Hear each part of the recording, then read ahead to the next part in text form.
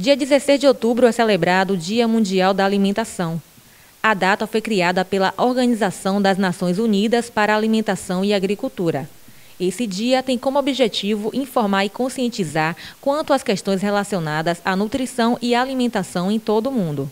É possível comer bem, ter uma alimentação equilibrada, comendo de tudo, desde que você não tenha uma doença que lhe restrinja determinado alimento. É importante que todas as pessoas tenham uma alimentação equilibrada, fazendo escolhas mais saudáveis, se alimentando todos os dias com fruta, verdura, legume, incluindo salada no seu cardápio, principalmente, para que é, se possa garantir é, uma saúde adequada e equilibrada, evitando doenças, principalmente as doenças crônicas que são tão comuns como obesidade, hipertensão e diabetes.